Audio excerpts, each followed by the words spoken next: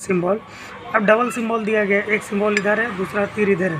तो एक यहाँ पर आप देख पा रहे होंगे, एक सिंबल इधर है, एक सिंबल इधर है। यानी कि इस बाइक में डबल सिंबल है, कुछ बाइक में सिंगल सिंबल होता है। तो ये तीर देख के आपको लगाना पड़ेगा। तो ये वाला तीर जो है, इस तरीके से लगाना है।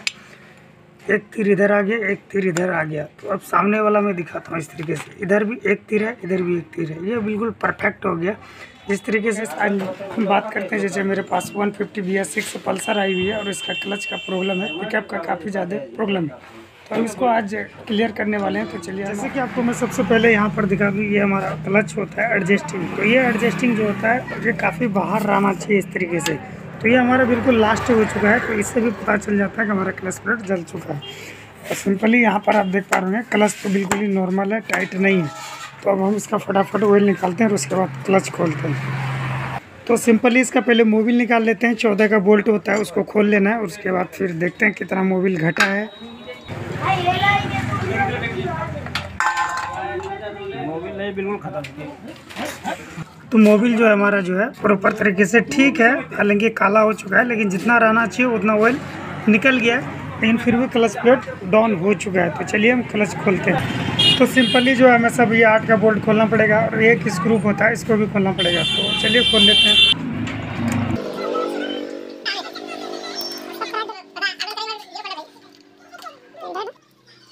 कौन कौन ली।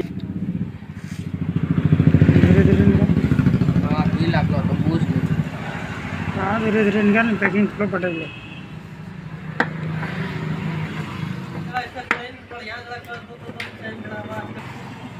सिंपली हमारा ये कवर बाहर हो चुका है, ठीक है? और ये ठेसी हमारा यहाँ पर लगा हुआ, इस ठेसी को आपको ध्यान देना बेरिंग के साथ फंसा हुआ है, ठीक है? अब इस काम प्रॉपर तरीके से क्लच को बाहर करते हैं। ठीक है, इसका आपको ध्यान रखना है। अगर ये नहीं रहेगा तो ऑयल इंजन के ऊपर नहीं चढ़ पाएगा, ठीक है? तो चलिए, सबसे पहले वेट को खोलते हैं, उसके बाद क्लच को बाहर निकालते हैं। हमारा इस वेट में उल्टा गुना नहीं होता है, जिस तरीके से सिंपल रहता है सेम वही उसी तरीके से ये खुलेगा।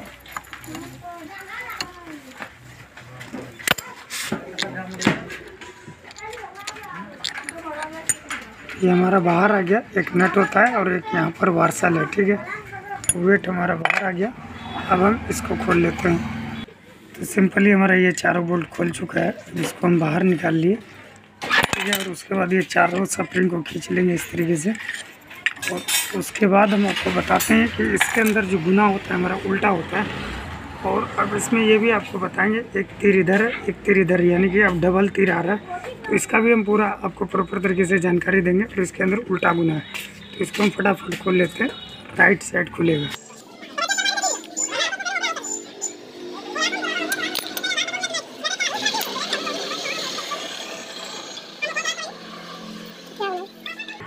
सिंपली अब हम इस तरीके से बाहर ले लेते हैं इसको। ठीक है? आपको हम दिखा देते हैं कि यहाँ पर एक वार्सल है। इस वार्सल को यहीं पर रहने के लिए देना।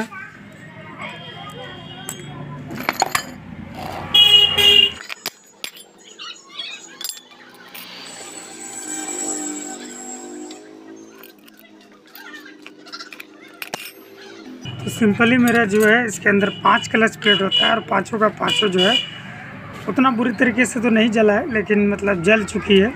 और उसके बाद ये हमारा चार प्रेशर प्लेट होता है, ठीक है? तो अभी हम सिंपली सिर्फ़ क्लच प्लेट ही डालेंगे। और वो चीज़ मैं आपको बता रहा था कि इसके अंदर डबल तीर दे दिया है, एक इस साइड, एक उस साइड, ठीक है? तो दोनों तीर को आपको देख के ये लगाना है कि इसके अंदर भी दोनों तीर जो है दिया हुआ है। तो ये तीर को अभी देख के हम लगाएँगे। तो चलिए सबसे पहले क्लच प्लेट लाते हैं, फिर उसके बाद लगाते हैं। जेनवन क्लच प्लेट आ गया है, सात सौ बाईस रुपये एम आर पी है, ठीक है? और ये बजाज का जेनवन है तो चलिए अब हम इसी को लगाते हैं। और इसमें जो है, आप Apache R T R one sixty का भी क्लच प्लेट लगा सकते हैं एचीवर का भी लगा सकते हैं। तो अभी हम फ़िलहाल बजाज का लगा रहे हैं। तो चलिए अब हम क्लच प्लेट लगाते हैं। तो सबसे पहले जो है, इस तरीके से एक क्लच प्लेट डाल देना है अब फिर उसके बाद जो होगा हमारा, इस तरीके से प्रेशर प्लेट होगा। फिर क्लच प्लेट डलेगा। फिर प्रेशर प्लेट इस तरीके से डलेगा।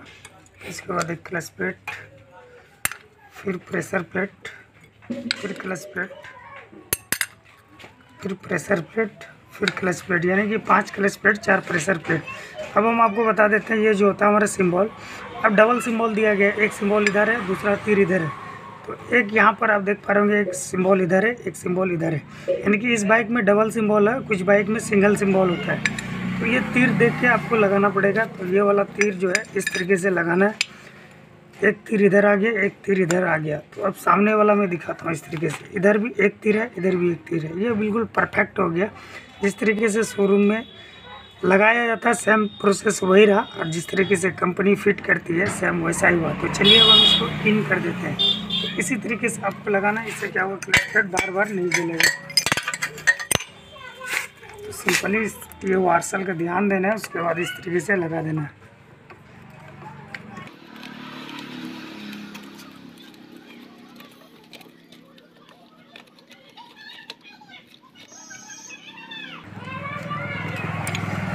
तो चार क्लच प्लेट एक जगह डालना है और एक क्लच प्लेट जो है इस जगह डालना है। ठीक है, ये नया मॉडल में इसी तरीके से यूज़ किया जाता है। आप यहाँ पाँच को पाँच नहीं डाल सकते, उससे क्या होगा पिकअप में अंतर आ जाएगा। ठीक है तो इसी तरीके से सेट करना है। उसके बाद सिंपली एक हमारा ये वार्सल होता है, इस तरीके से लगा देना है। और इसके अंदर जो होता है, हमारा उल्टा गुना होता है। तो इस नट को हम टाइट कर देते हैं। सिंपली इसके अंदर उल्टा गुना होता है। और इस चीज़ को समझने के लिए यहाँ पर आपको देख लेना है, यहाँ पर एक सिम्बॉल होता है कट तो इसको इधर उल्टा साइड टाइट करना है, ठीक है। तरीके से टाइट करेंगे। अब देखो तुम सब साफ़ सुथरा कर लाइट बल्ब को बटन बटन लगा देना समझा? जहाँ जहाँ पेंट उड़ाना कितना का होगा पेंट मारना सब मार देंगे भाई।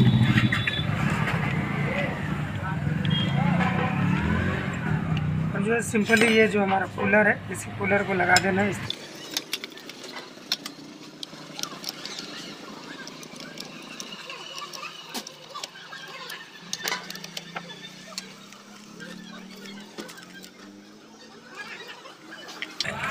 चलिए ये हमारा फुल टाइट हो गया। और इस तरीके से पीछे साइड से खींच लेना। है उसके बाद चार सपरिंग होता है, चारों सपरिंग को डालना है इस तरीके से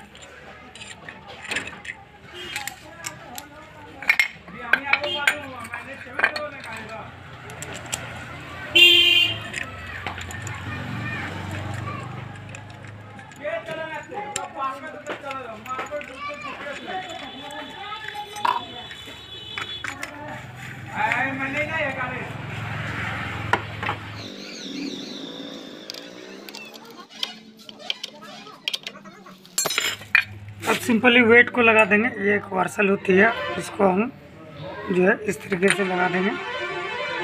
इसके बाद इस वार्सल को डाल देंगे इस तरीके से। उसके बाद इसके अंदर जो होता है, हमारा उल्टा गुना नहीं होता है, ठीक है? इसको इस तरीके से टाइट कर देना।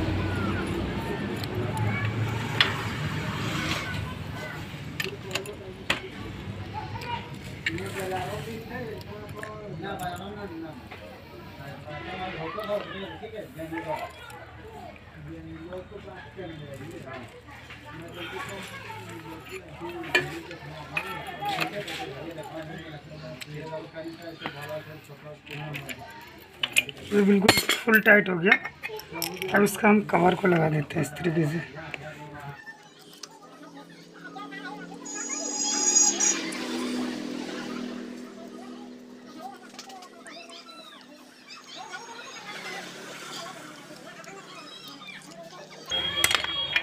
सिंपली हमारा ये बैरिंग है ठेसी है, ठीक है?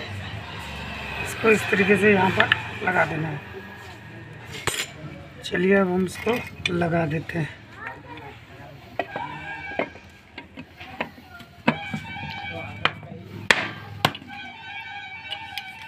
सिंपली ये सब चीज़ लग चुका है, इस तरीके से बोल्ट लगाकर टाइट कर देना है। अब बाइक जो है बिल्कुल प्रॉपर तरीके से कंप्लीट हो गई और मैं आपको एडजस्टर दिखाता हूँ। ये एडजस्टर जो है अब देख पा रहे होंगे कितना बाहर की ओर आ गया। अगर यही एडजस्टर यहाँ तक आ जाती है, यानी ख़त्म हो जाता है इस तरीके से तो क्या होता है क्लच प्लेट यहाँ से पता चल जाता है कि ख़त्म है। और क्लच आपको सिंपली इस तरीके से रखना है। आप देख पा रहे होंगे, इतना सा गैपिंग आपको रखना पड़ेगा।